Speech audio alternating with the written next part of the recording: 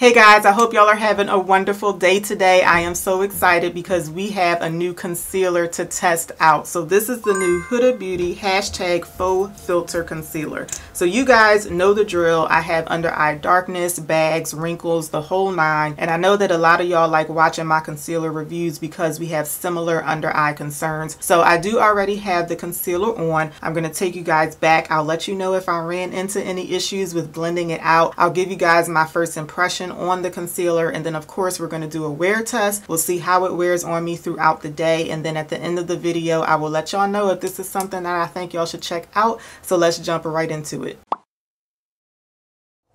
Okay, so we're going to be playing around with the shade 6.7R Peanut Butter. So first let me show you the applicator. I like this. I like the size of it because it looks like it'll pick up a whole lot of product. So let's start off with a swatch and this looks like it'll be a really good shade for me for under eye concealer. Maybe I could use something just a little bit lighter so that it also gives me a brightening effect but I think it'll be a really good shade. So let's zoom in and let's get started with applying it to the under eye. Now if you're new here when I do a full face of makeup I usually put on color corrector underneath my concealer but I don't do that when I'm testing a concealer for the first time. I want to see how it operates on its own without the assistance of a color color corrector. So the only thing that I have on my under eye area for right now is my skincare. And I did already apply my foundation, but I blended it around the under eye area. So I don't have any foundation right here. So I'm gonna start off with just the amount that picks up on the applicator when you take it out of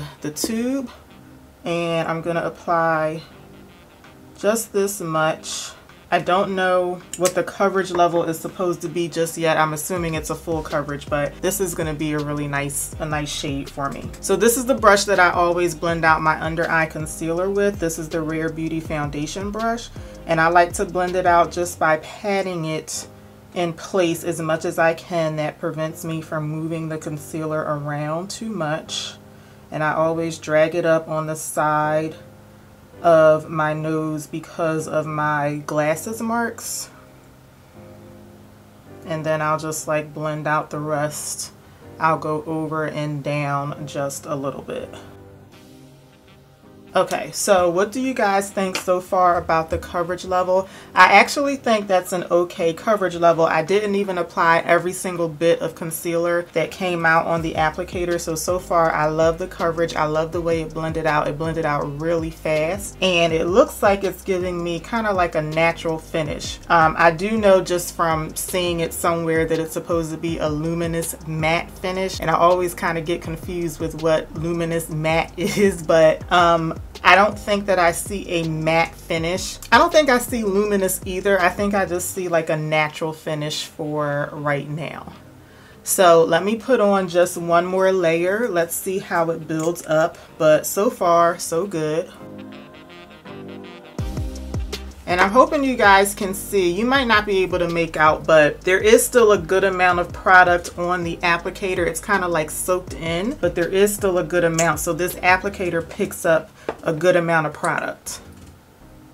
And I'm just gonna blend out this second layer the same way that I did the first one. I'm patting it in to keep most of the product concentrated like right where I want most of the coverage to go.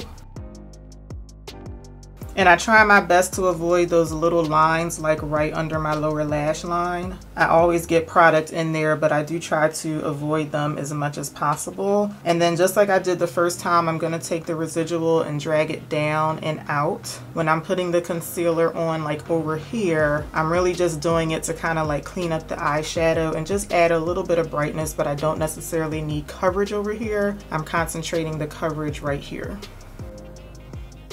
Okay, so let me know what y'all are thinking so far. I really like it so far. I do wish it was a little bit, just like a tiny bit brighter because I would probably go on top of this maybe right in the center with another concealer that's just a little bit lighter than this. But this is really good for me for like everyday looks because it's giving me really good coverage and it doesn't look like too brightening. So when I do my whole face, it's not going to be, um, I guess, like overly bright in this area. It'll still look really nice and natural. So I really like this concealer far. My favorite concealer right now is the Anastasia concealer.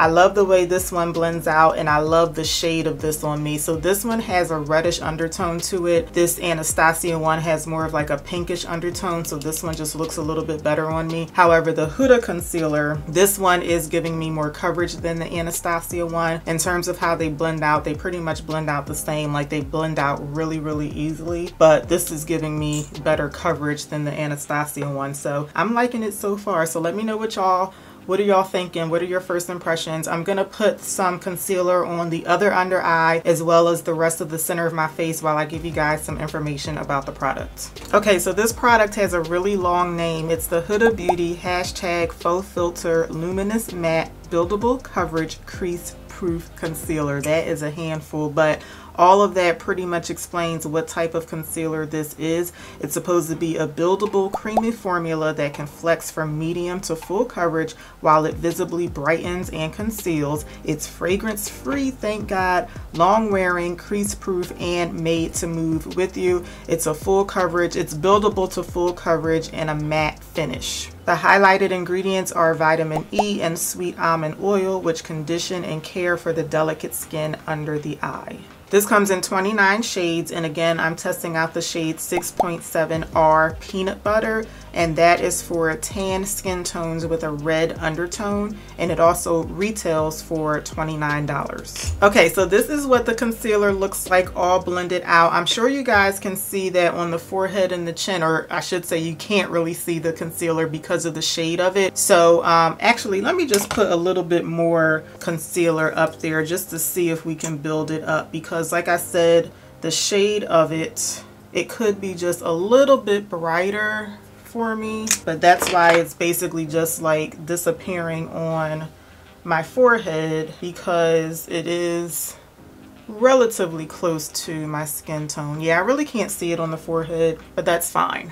I do think it looks really good on the under eye area. If it was just a tad bit lighter, that would be better, but I do think it looks really nice.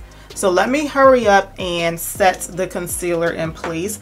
I'm going to take my brush one more time and I'm just going to pat right back over the concealer just because on this eye especially it's been sitting for a minute so I'm just going to flatten it out one more time and then I'm going to go ahead and set it. I'm using my Kosas Cloud Set Powder. This is the one that I always use to set my under eyes and I'm setting just the immediate under eye area.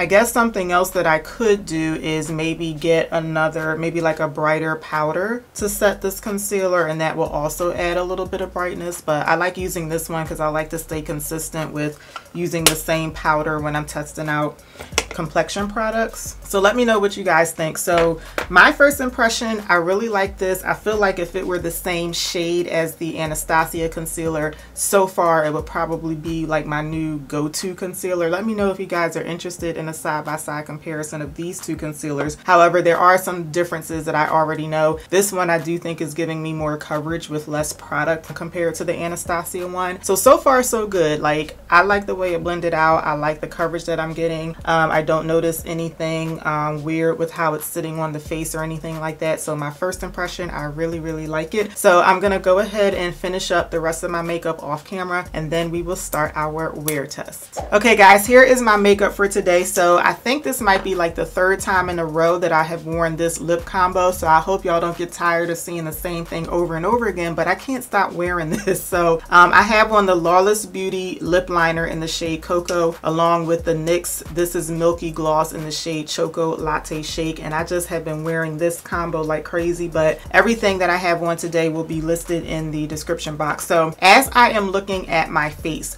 I love the way that the concealer is wearing on the skin so far. Like no complaints. So far so good. I do wish that the shade though was a little bit brighter because I do feel like my under eye area looks pretty much the same as the rest of my face. I am really tempted to put on a brightening powder. Just something a little bit lighter than my Kosas powder. But I don't want to do that because like I said earlier, I like to stay consistent with um, the setting powder that I use to test out concealer. So I don't want to mess around and you like use something else. I just just want to stick with what I know um, to see how the concealer wears with it. So we're just going to keep it like this for today because like I said, it's wearing very well. I just wish that the shade was just a little bit brighter. So I also wanted to show you guys the swatch here because I forgot to wipe it off. So this is supposed to have a luminous matte finish to it. And I feel like I'm seeing a little bit more luminosity than I am matte. And I think overall it does look more of like a natural finish on the swatch and on my under eye. To me, it just looks more natural than luminous matte. Maybe luminous matte combined just make a natural finish. But yeah, I don't, I don't really see too much of a matte finish, but let me know what you guys are thinking. So first impression, so far so good. But of course, the real test is going to be how it wears on the under eye. So I'm going to start the wear test now and I'll be checking in a couple times throughout the day. I'm not sure how long I'm going to wear it, but it'll be at least for a few hours. And then at the end of the video, I will let you guys know if I think you guys should try out this new Huda Beauty concealer. So it's a little before 2 o'clock in the afternoon. So we're going to start now and I will see you guys a little bit later on. Okay, it's a little after 5 o'clock, so we're three hours in. So this is what the under eyes look like let me know what y'all are thinking. I think that we're doing very well so far. So I don't see any creasing or anything. Um, now, if you guys have lines under your eyes like I do, just remember that everything is going to look like it's creasing on those lines because it's just going to kind of like fall into the fold of the lines on your skin if that makes sense. So that doesn't mean that the concealer is creasing. That means that um, the concealer is just laying on your skin and your skin has a fold right there. So I hope that makes sense. So whenever I'm looking to see if a concealer is creasing I'm looking like further down where the product is laying like on a flat surface, if that makes sense, and it's laying very well. So I am in front of a window so that you guys can see the natural lighting shot. Um, I can see like a little bit of the shadow picking up, but you guys can pretty much make out what I'm seeing. So I think that the concealer is wearing very, very nicely. So let me know what y'all are thinking. I will check back in in a couple hours and we'll see what we're looking like. Okay, you guys, we're going to do another quick check-in. So it is a little after 7.30, so we're about an hour and a half after the first check-in.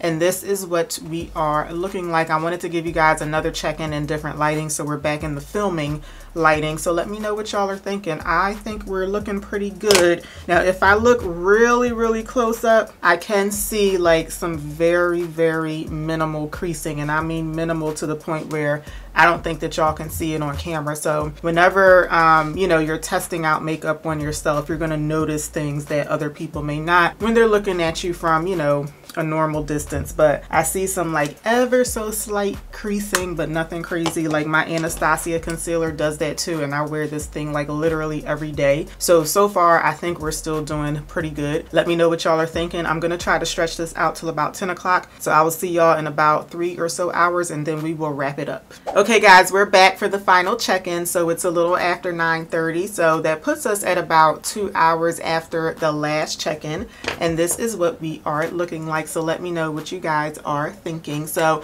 I was going to try to stretch this out till 10 o'clock but I'm just going to go ahead and end it now. It's almost 10 o'clock anyway but I do feel like the concealer has kind of worn down a little bit in the past couple of hours and it's just going to keep getting worse as the night goes on. So um, I think it was the 7:30 check-in that I said that I noticed some minimal creasing going on and unfortunately I do see a little bit more creasing that has happened in the past couple of hours so even though I notice more creasing, I do feel like it's minimal enough to where I would feel comfortable with wearing this out. I think if someone were sitting across from me, they still wouldn't really notice it. Like it's just more noticeable to me because I'm, you know, looking up close and testing out the concealer. But I do think that it is creasing as time goes on but it's it's still overall you know quite minimal. I also think that my under eye area is starting to look just a little bit dry. Now part of that is because the rest of my face is shiny because I do have oily skin but the skin under my eye is always um, drier than the rest of my face. So I've always felt like when the rest of my face starts to get oily it inadvertently makes my under eye area just look a little bit drier. But today I guess maybe it's because I'm, I'm really noticing the creasing but it just feels like it looks like my under eye eye needs just a little like um, moisture or hydration right now. So definitely not like the best concealer wear test that I've had, but definitely not the worst either. So I think my final thoughts on this new Huda Beauty concealer for those of you who have similar under eye issues as me. If you've tried the Anastasia concealer and you really like this one, I would say just stick with this one over the Huda concealer. My other favorites are Too Faced Born This Way and uh, Rose Inc. And I don't care for this one as much as I do the other ones that I just mentioned. So this one definitely is not horrible.